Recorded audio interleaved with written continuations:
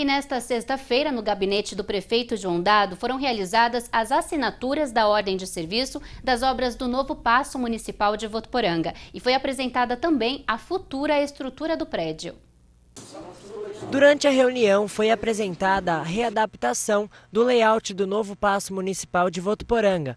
A futura estrutura do prédio ficará localizada na Avenida Sebastião Vaz de Oliveira e terá cerca de 7.500 metros quadrados.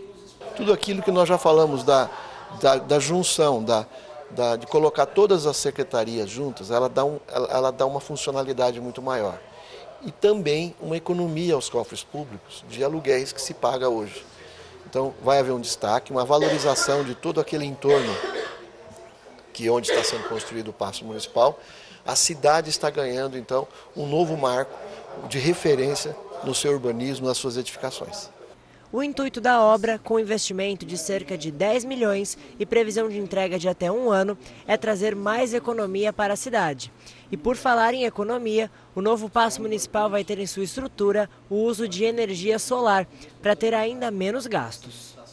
O prédio terá é, uma, uma, as placas né, de energia fotovoltaicas já construído e vai significar que aquele prédio ele só vai ser consumido 50%. Os outros 50% vão ser energia que virão do sol, que virá do sol, energia de graça, e nós estaremos também economizando para os cofres públicos dessa maneira. E o novo prédio vai trazer benefícios para o município e contará com salas de reunião, auditório e o gabinete do prefeito. Além disso, vai possibilitar a união da maioria das secretarias municipais. Uma estrutura que vai permitir a economia de mais de 5 milhões de reais em aluguéis. São imóveis que estão espalhados pela cidade toda eh, e que vão deixar de ser alugados, porque vamos estar na casa própria. Isso já é um benefício natural. Então, vamos investir eh, recursos de financiamento, mas já vamos recuperar metade desses recursos só na economia de aluguéis. Além disso, vamos economizar em energia.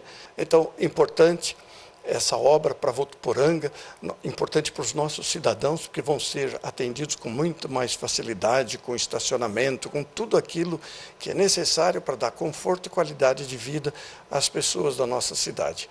O prefeito João Dado se reuniu com a empresa ganhadora da licitação para assinatura da ordem de serviço. A construção deve começar em breve.